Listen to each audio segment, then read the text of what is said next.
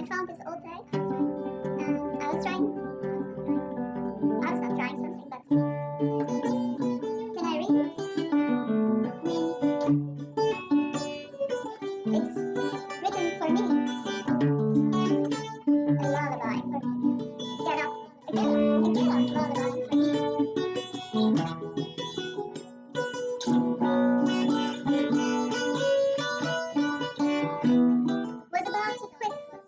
But so it was you again today.